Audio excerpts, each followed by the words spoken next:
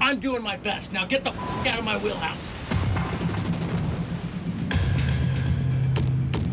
I can't believe that. I'm shocked. That is so stupid of him.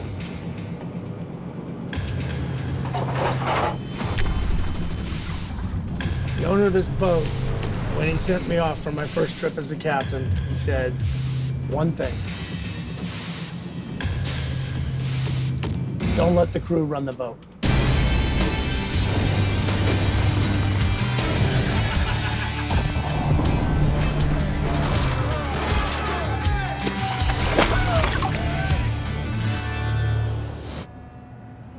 In Dutch Harbor, I'm ready to go. with their king season complete, the crew of the 125 foot Northwestern are rigged and ready for Bairdi. When you're crab fishing, it's always something. I gotta worry about Edgar. Oh my god.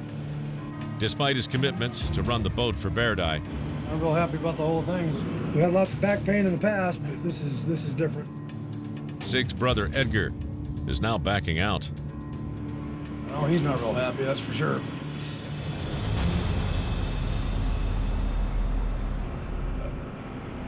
How you feeling? Sore. Sore? This was one that we gotta like figure out.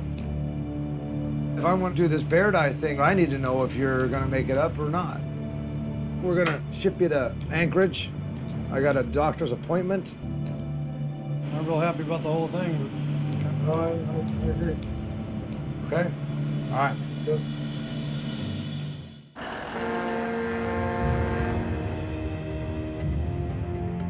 So, sounds like he's fired up, ready to go. Yeah, off to Anchorage. Sig gave me the option. I mean, if you want to run the boat for Bear it's all yours. And that's what I'm striving for, you know? I'm striving to get in the wheelhouse. So not being there for Bear I think, is really hurting me more. In the meantime, we just got to worry about what's happening here today. All I can do right now is try to keep the family business going, go find some Bairdi, and then uh, wait for Edgar's call. That's all I can do. A little praying wouldn't hurt either. 210 miles northeast of Dutch Harbor. Good morning, Freddie. All right, guys, first one's coming up. Captain Keith Colburn nudges the Wizard up to his first Bairdi pots of the season. This year, the Paradise is where we're making our money. Losing the extra king crab just makes it that much more important that we catch this tanner crab in a timely manner.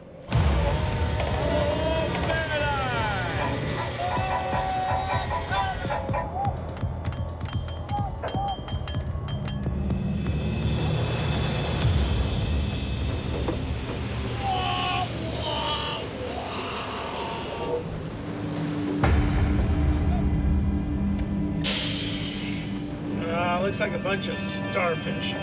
Starfish gather on a hard bottom, unlike Bairdi that tend to feed in muddy terrain. If you see a starfish, you probably won't see crab.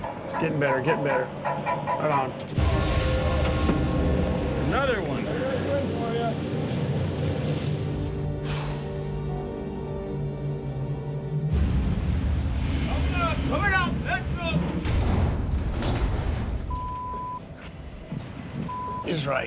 I think I just scooped up a bag. Yep, it's up on the anchor. The fourth pot in their string gets snagged on the bow of the boat. Can you see it on the anchor? Roger. Damn it. Shoot. No, that's fine. Here you go, let's see. It can extend if it's not long enough. The crew moves swiftly to free the line and save the pot. We got it, cut it off. It's off. Roger. Okay, off the bow. Yes. Oh! Uh, was that your ass hitting the ground? It's my f***ing back. Got hit in something. That hurts. Take your time. As the crew climbed off the bow, deckhand Kevin Stafford lost his footing and slammed his back into the steel anchor winch. Kevin fell over on the way back off the bow, made a hell of a noise, hit the deck, but last thing we need is injuries.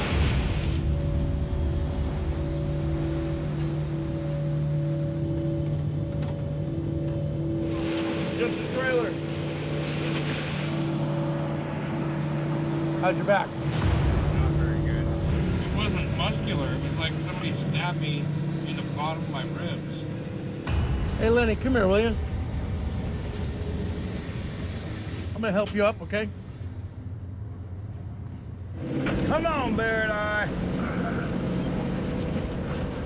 I can go back out and see this straight. No, no, no. Let's let's shut you down for a little bit. Go ahead and gear down, because this seems like more than just a muscle strain. Just hours into their first haul, Hey, we're gonna, uh, Robbie. So you know, we're just gonna be going with four guys there for a little bit, okay? Bairdi season has claimed its first victim. Now short-handed, the Wizard will haul and stack all 250 pots. Oh, it sucks knocking down a big stack of crab pots, setting them, and then coming back and putting a big stack back on. He should be at least back here doing the bait. But I'm the boss. I'll make the rules. I've seen it a thousand times, man. Sometimes these guys turn pretty quick on their fellow crewmen when they got to start picking up their slack. Heads up. Okay. My big splash coming out of retirement to fish Bairdi is more of a bloop.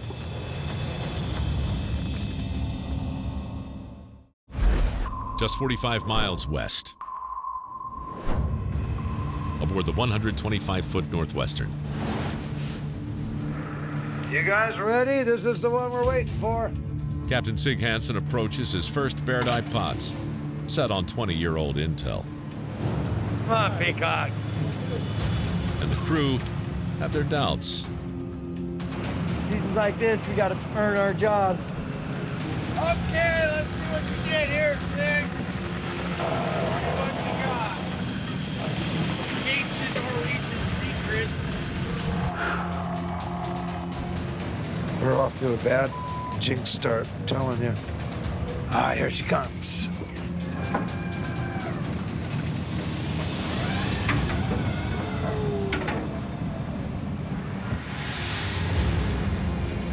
I see some crab.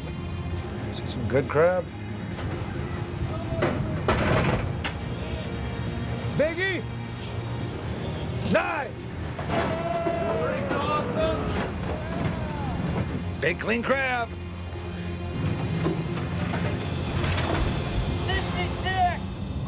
We'll see if it continues to keep up. Hopefully. The first pot had crab in it, but you know, this thing goes down into a trench, and so they like to kind of hang out on the sides. I think the numbers are gonna get a lot better. Yeah! Feeling better now. Yeah! Yeah! Old school crab fishing here. Yay! So how we looking? Okay, shoot. We got 82, 92, 93. Good, 90. Everybody's smiling right now. I wonder what he's doing up there. I know he's saying something. Now I wonder if Jake's crying.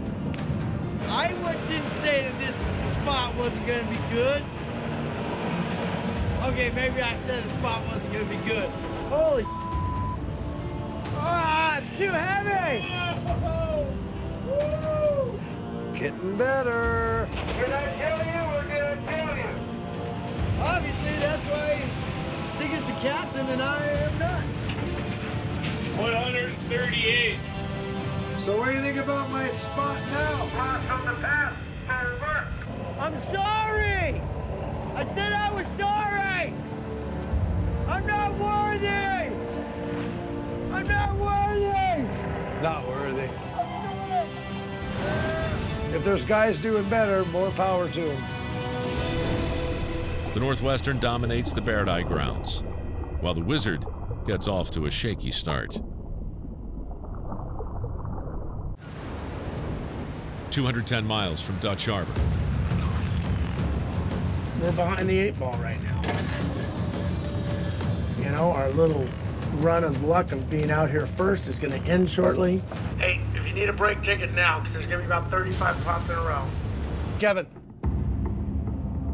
And now we're in a position where we've got a lot of gear to haul, and I think we probably could use you out there. Um, and uh, we're going to give it a shot, all right? Okay.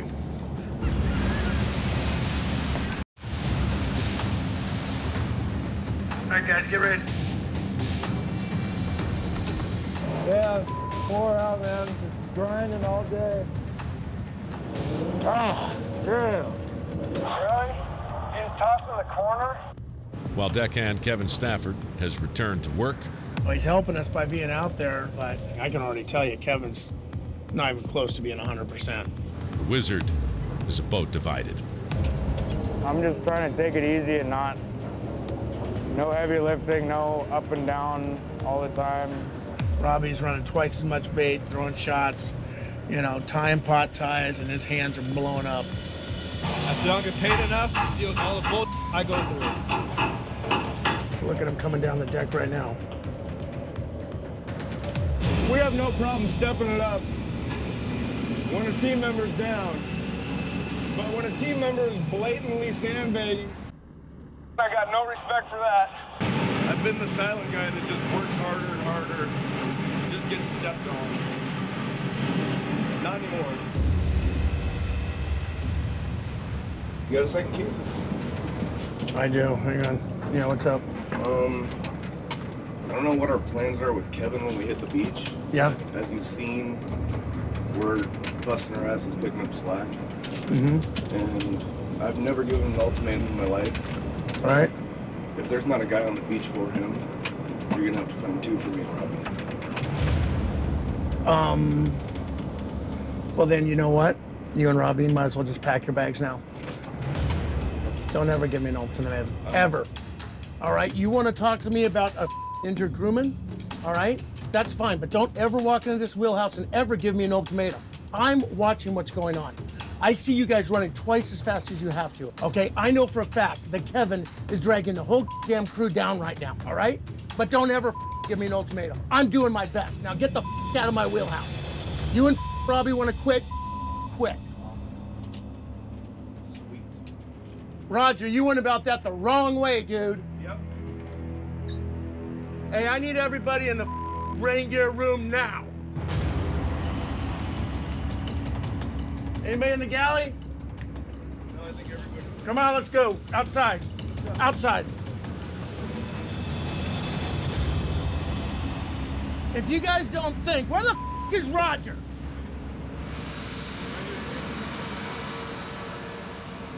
If you guys don't think that I understand what's going on right now, you're grossly unaware of what I'm watching and what I'm seeing. I understand that you're all busting your ass twice as hard as you normally do because we're short-handed. All right? Kevin's not at full speed. But I'll be damned if somebody's going to walk into my wheelhouse and give me an ultimatum saying either he goes or we go. Even if he does go, you guys want to quit? Quit. And I draw the line on ultimatums.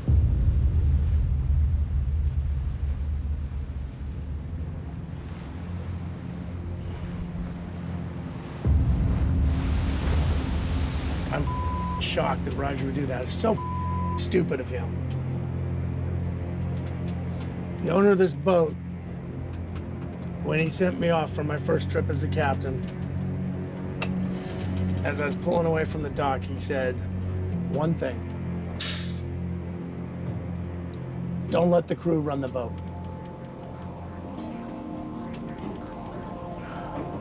I never have and I never will.